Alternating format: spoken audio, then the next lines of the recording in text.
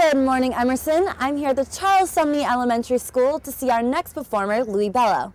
Louie not only performs music, but teaches it. So let's head on in to see if we can learn a thing or two from one of Boston's most famous R&B singers. Well, um, I'm a singer, songwriter. Uh, I used to I used to write for Sony. Had a publishing deal years ago, and uh, you know the business. It's a tough business. I've been to a lot of places. I've been in a lot of spots, you know, good and bad. And you know, throughout my career, I've always come back to helping out other artists and younger artists that are trying to make it in the business. And I decided to get into teaching because, you know, my passion is working with kids. As long as you love me, we could be starving, we could be homeless, we could be broke.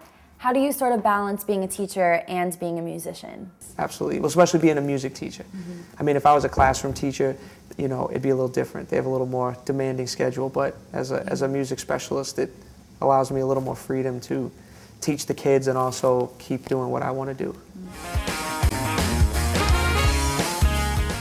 So my sound is, is R&B pop uh, with a really a big soulful influence. So like the Frank Sinatra, I love the, the smoothness of his voice and you know the Stevie Wonder, you know with his the, the soul, with his runs and riffs. Brian McKnight, uh, you know big influence on me vocally, but musically I work with so many different producers that I get inspired by.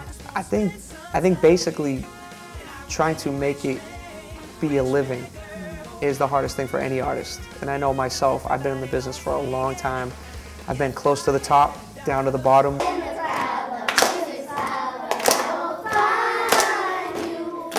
Louie Bello has worked with some renowned artists and has traveled all over the world. And now he's traveled to our backyard to perform later on in the show. Until then, back to Ian and Megan in the studio.